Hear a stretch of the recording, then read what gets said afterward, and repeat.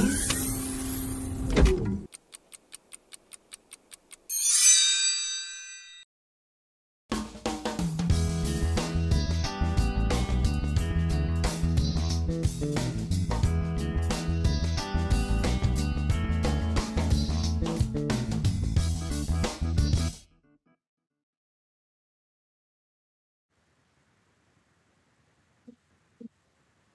Здравствуйте, дорогие коллеги. Я представлю вам доклад оценки содержания углерода в атмосферных выпадениях, опущенных водах фоновых лесных экосистем Мурманской области.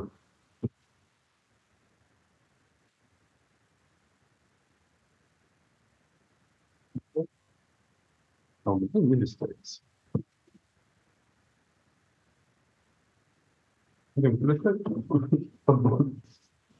Вот. Нам всем известно, что углерод является основным компонентом э, как атмосферных падений, так и почвенных вод. Вот. И важной задачей при проведении биохимических исследований является оценка его количества поступления в лесные экосистемы. Вот. Э, таким образом, цель нашего исследования была дать оценку содержания углерода в атмосферных выпадениях и почвенных водах фоновых хвойных лесов Мурманской области, а также произвести сравнение, собственно, фоновых территорий с э, территориями, подверженными аэротехногенному загрязнению. Вот. Объектами исследования послужили атмосферное выпадение почвенные воды в ельниках, кустарничках, зеленомошниках, сосняках, кустарничках, лишайниках. Э, значит, фоновая территория у нас располагается на юго-западе области. И для простоты в, было произведено значит, э, наши исследования в сосняке одном, в сосняке втором и ельнике. Вот. По методам исследования, каждая пробная площадь у нас а, оборудована осадкоприемниками для дождевых выпадений, 5 под кронами, 5 между крон деревьев и 4 на открытой территории. Значит, лизиметрами гравитационного типа конструкции Джона Дерома по 9 штук на пробной площади. На разной глубине а, они заложены в органогенном, ливиальном и ливиальном горизонте. И также используется мозаичная структура биогеоциноза под кронами и между кронами закладывали. Вот. Снег отбирался в конце марта, в начале апреля, в период максимального снегонакопления, а дождевые выпадения почвенной воды отбирались с мая по октябрь. Вот, значит, э, для характеристики состава атмосферных выпадений использовались данные за период с 99 по 20 год. Тут оговорюсь еще, что на сосняке одном все-таки по 2009 год. Ныне площадка у нас э, законсервирована и значит, работы по измерению атмосферы падения почвенных вод там пока не видится. Вот. Все остальные по настоящее время работают. И химико-аналитические исследования проводили в ЦКП и ПСКНЦР. Образцевод фильтровали через бумажный фильтр синяя лента, а углерод определяли э, хроматометрией. Значит, по результатам исследования. Э, тут следует отметить, что в... сначала э, расскажу про снег, потом про дождь. В снеге, значит, э, в концентрациях присутствует, э, что концентрация углерода в подкроновых пространствах существенно выше, чем в межкроновых. Однако, если посмотреть на выпадение, то различия практически стираются. Вот, это объясняется, ну, во-первых, то, что снег выпадает в период биологического покоя, углерода там не очень много, и разница между подкроном и межкроном не такая большая. Это первое. И во-вторых, то, что э, осадки в межкронных пространствах на открытой территории снега существенно выше, чем под кроной. Поэтому падения такие большие. В дожде э, на, ну, как бы также присутствует э, такой момент, что в подкронных пространствах, но уже существенно, во много раз выше концентрация подкронных пространствах по сравнению с межкронами. И э, выпадение также демонстрирует, что э, существенное влияние подкронных пространств в сравнении с межкронами. Э, в межкроне разница э, между типами леса не проявляется. А вот э, в подкронных пространствах видно, что ельник э, существенно выше и концентрация выпадения углерода по сравнению с обоими сосняками. Здесь представлена многолетняя динамика в значит, концентрации углерода в снеге, то есть как он менялся. И вот мы нашли такие тенденции, что увеличивается как в подкронных пространствах, так и в межкронных пространствах концентрация снега точнее, концентрация углерода в снеге, прошу прощения. Вот. А, также следует сказать, что исследования проводились и для дождя, и в дожде никаких э, тенденций мы, к сожалению, не обнаружили. Вот. Перейдем к почвенным водам на фоновой территории. Значит, то, тут сразу следует отметить, что и в ельнике, и в сосняке, втором, и в сосняке первом, так же, как в осадках, четко присутствует, что в подкровных пространствах э, более высококонцентрированность углерода по сравнению с межкровными пространствами. В ельнике также хочу отметить, идет и в сосняках э, существенное снижение концентрации углерода с глубиной почвенного профиля. Тут прям видно, вот он четко идет. И в сосняке втором также вот видно идет, ну, за исключением э, лишайниковой парцеллы. Э, не хочет идти. В сосняке первом, к сожалению, у нас не было э, возможности посмотреть минеральный горизонт, просто по причине того, что ну, не работали там вот визиметры на глубине. Вот. Однако тут тоже видно, что в подкроне больше, чем в межкроне, по крайней мере, в органогенном горизонте почвы. Вот. По, что касается выноса углерода, все э, то же самое, то есть в органогенном горизонте вынос существенно выше по сравнению с минеральным горизонтом. Вот, и в подкронных пространствах по сравнению с межкроном. Вот, значит, тут тоже представлены некоторые тенденции, значит, которые удалось найти в почвенных водах. Э, Значит, ну, во-первых, от, отметить, что в сосняке и ельнике в покровных пространствах органогенных горизонтов наблюдаются некоторые тенденции увеличения углерода, а в минеральных горизонтах можно ответить некоторые тенденции снижения углерода. Ну, это уже минеральный горизонт элювиальный и элювиальный. Вот, ну, тут всем известно нам комбинат медоникелевый представлен, и также мы исследовали территории, находящиеся в 70 километрах от э, источника загрязнения, в 28-31, и вот наша фоновая территория. То есть э, э, мы вот проводили сравнение следующим образом. Вот. И, значит, что касается снега, то есть в концентрациях четко видно, что на фоновой территории в концентрациях углерода больше по сравнению с дефолирующим сами техногенной редколесьем в еловых лесах. Значит, по выпадениям Э, наблюдаем, что практически различия отсутствуют. И э, связано это вот с тем, что объем осадков в, увеличивается при приближении к э, источнику загрязнения. Вот.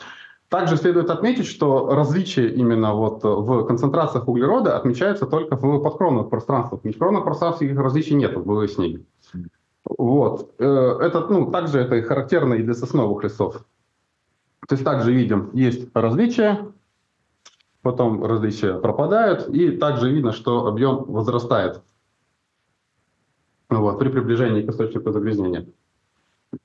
Вот, э, что касается дождя, тоже сразу отмечается, что в ельнике существенно идет снижение э, углерода с, э, при приближении к источнику загрязнения. Выпадение углерода также снижается при э, выпадении к источнику загрязнения, даже несмотря на то, что в техногенных редколесьях ну, в два раза превышает объем по сравнению с фоновой территорией, дефилирующими лесами.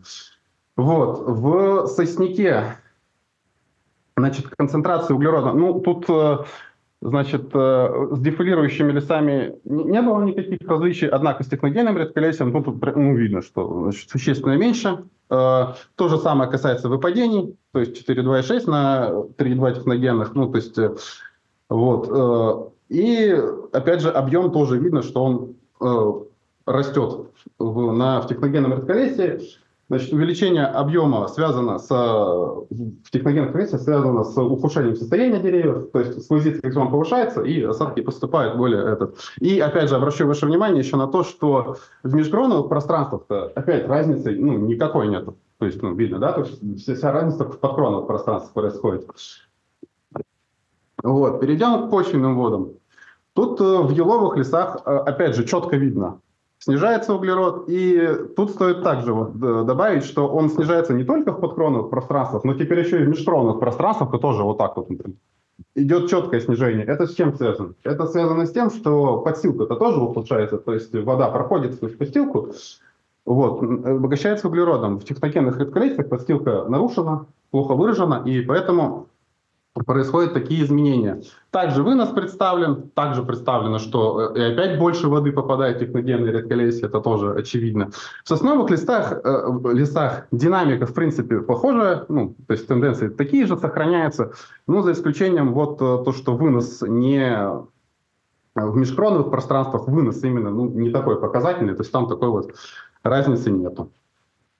Вот. э, Здесь, значит, показана э, вот тоже многолетняя динамика именно в техногенных редколесьях, как менялась концентрация углерода. То есть, ну, видно, что с годами наблюдается снижение концентрации углерода, как в ельнике, в межкроновых и подкроновых пространствах, в сосняке межкроновых пространствах, в минеральном горизонте, в ельнике в подкроновых пространствах и в сосняке в подкроновых и межкроновых пространствах. Вот, ну, выводы разрешите не зачитывать, я так примерно все сказал, почему, что с чем связано. Единственное, вот хочу обратить э, такое внимание, вот я вам слайд показывал э, э, с многолетней динамикой углерода в снеге, вот там э, надо было сказать, что вот мы связываем это с увеличением дней, дней с оттепелями вот на Кольском полуострове. Поэтому вот углерод, на наш взгляд, в подкронных пространствах и межкронных пространствах именно в снеге увеличивается. Но, к сожалению, доказать это на данный момент времени я не могу. Ну, я постараюсь. Все, благодарю за внимание. Спасибо.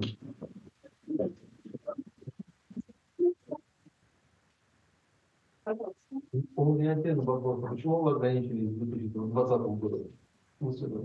А, а, ну, ну, потому что на данный момент у нас ну, обработка, ну, не, не, два- не 20 там еще 22 был, вот, но у нас есть пока данные только за 23 год по снегу э, и э, 23 год, 3 месяца за июнь-июль. То есть, э, ну, я так объясню, что вот, допустим, у нас э, данных с 99 по 20 год. Если я туда добавлю, ну, даже там 2 года или 3, это не, не сыграет прям существенной роли, там не будет никаких выпадов. То есть мы сравнили, вот э, 23 год, допустим, я каждый раз сравниваю 22 год, и так вот по годам. То есть там э, существенных различий нет. Ну, То есть выбросы севера нуклеи никак не влияют на углерод? М, в смысле? Э, Северник Ну. значительно снизил Ага, по- да, да, да, да, да. И, а у вас ну, углерод все снижается. и- Так угле- углерод снижается, да. То есть, э, о- но он поскольку снизил выбросы, ну вот у нас углерод снижается. То есть, ну, ни- никак я не могу это сделать. Вопрос есть? Ну, наверное, можно про- прокомментировать более развернуто. Истощение-то произошло, деградация произошла, восстановления-то нет. Все вымывается, продолжает, это же последствия. Так быстро не произойдет. Процент.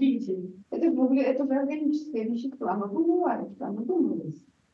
Там все время происходит истощение. Почему сегодня? Потому что нигде не потому что вымывается все время растения, спасающие компенсируют. Когда компенсируют, когда восстанавливается все, и когда начнется поступление опада, вот тогда будет интересно. Ну, если посадить, может, получится. Два.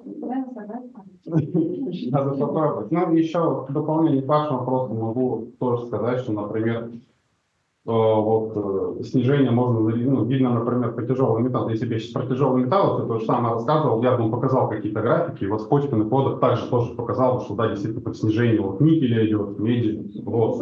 Но опять же, оно не везде идет, и оно ну, не линейно, оно тоже с лесками и не везде. То есть это Си- система, она ж э, не, не может резко измениться только потому, что Схема, она начинает жизнь, это какие-то этапы, что возникнет поэтапы. Спасибо большое, к сожалению, вопрос э, больше не